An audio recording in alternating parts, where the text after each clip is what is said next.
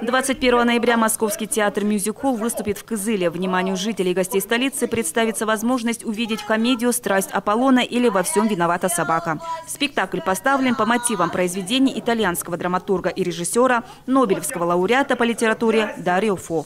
По прошествию небольшого времени, по прошествию двух лет, по приглашению замечательного театра наших друзей, Национального музыкально-драматического театра, мы приезжаем э, с новой постановкой «Страсть Аполлона», которая вышла у нас в прошлом сезоне. Мы много где успели побывать, на Дальнем Востоке, на Севере, в некоторых городах Сибири. И вот в рамках э, большого сибирского тура мы в том числе приезжаем в Кызыл, мы будем работать и в Хакасии, и в Красноярске. 21 ноября на сцене Национального музыкально-драматического театра Зрители порадуют звездный актерский состав, в который вошли народные артисты России Александр Носик, Ирина Лачина, Павел Белозеров и Ярослав Бойко.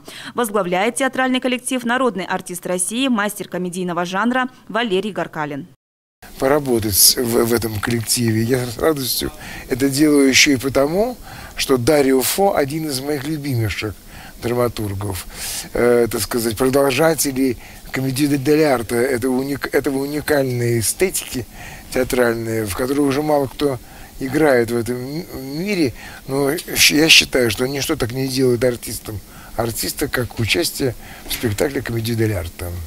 Стоит отметить, что актерской труппе удалось создать по-настоящему смешной спектакль в добрых традициях итальянской драматургии и фарса. Главный герой комедии – друзья-мошенники, все время играющие на грани провала.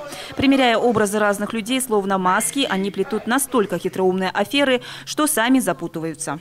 Наш участок заберут и откопают какой-нибудь очередной колизей. Нет, этого не может быть. Потому что в Милане никогда не было колизея. Это доказано сто раз. Черт подрал, мы этого не допустим.